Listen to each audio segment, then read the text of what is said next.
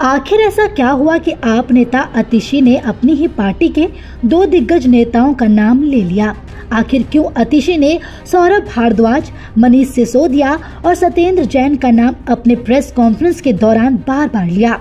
साथ ही आम आदमी पार्टी नेता अतिशी ने बीजेपी और ईडी पर जमकर निशाना भी साधा और दावा किया कि ईडी ने दिल्ली के सीएम अरविंद केजरीवाल को जेल भेजकर सरासर गलत किया। दरअसल ये सब तब हुआ जब आज यानी 2 अप्रैल की सुबह ही आम आदमी पार्टी के नेता और दिल्ली की मंत्री अतिशी ने प्रेस कॉन्फ्रेंस कर बीजेपी पर कई आरोप लगाए। बीते दिनों अतिशी ने यह भी दावा किया था कि बीजेपी ने उनको पार्टी में आने के लिए बड़ा ऑफ़र किया था। इतना ही नहीं, बल्कि अतिशी ने यह तक दावा किया कि उन्हें कहा गया है कि या तो बीजेपी ज्वाइन करके अपना राजनीतिक करियर बचा ले, या अगर पार्टी ज्वाइन नहीं की तो आने वाले एक महीने में ईडी की ओर से गिरफ़्तार कर लिया जाएगा। अतिशी ने कहा कि मेरी करीबी व्यक्ति ने बताया कि प्रधानमंत्री और बीजेपी ने मन बना लिया है कि आम आदमी पार्टी के सभी लोगों को कुचलना है। देखिए, ये बिल्कुल संभव है, क्योंकि कल जो ईडी ने सौरभ भारद्वाज जी और मेरा नाम कोर्ट में लिया, वो एक ऐसे बयान के आधार पर लिया, जो बयान ईडी और सीबीआई के पास डेढ़ साल से मौजूद है। ये बयान ईडी की चार्जशीट में भी है, ये बयान सीबीआई की चार्जशीट्स में भी है तो आज इस बयान को उठाने का क्या कारण था?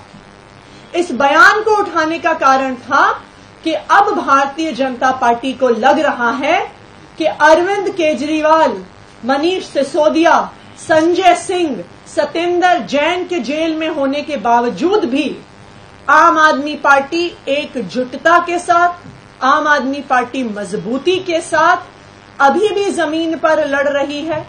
और जो रामलीला मैदान में रैली हुई, जिस भारी संख्या में लोग आए, जो जन सैलाब आया, उनको अब समझ में आ गया है कि आम आदमी पार्टी की नेक्स्ट लाइन ऑफ़ लीडरशिप को भी गिरफ़्तार करना पड़ेगा।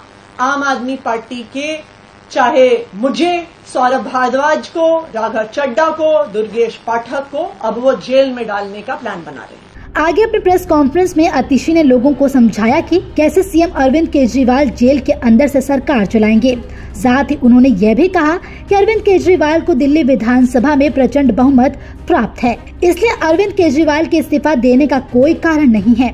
अगर आज अरविंद केजरीवाल इस्तीफा दे देते हैं तो यह भारतीय जनता के लिए विपक्षी सरकारों को गिराने का बहुत ही सरल और सीधा उपाय होगा। आइए सुनते हैं। अरविंद केजरीवाल का कोई कन्विक्शन नहीं हुआ है।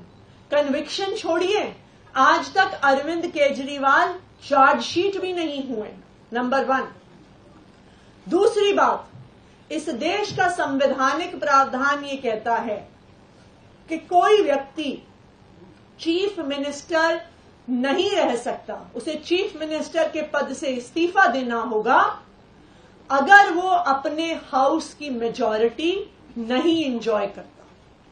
Arvind Kejriwal enjoys the overwhelming majority of the Delhi Assembly.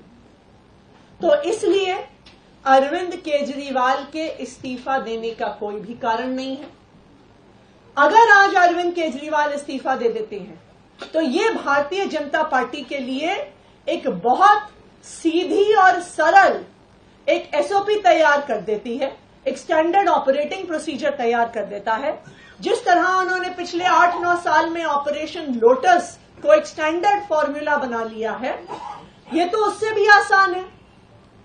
ED के माध्यम से prevention of money laundering act में हर विपक्ष के मुख्यमंत्री के ऊपर केस कर दो, उसके बाद उसे गिरफ़्तार कर दो, और फिर कहो कि संवैधानिक संकट पैदा हो गया है, इस्तीफा दो वरना हम राष्ट्रपति शासन लगाएँगे।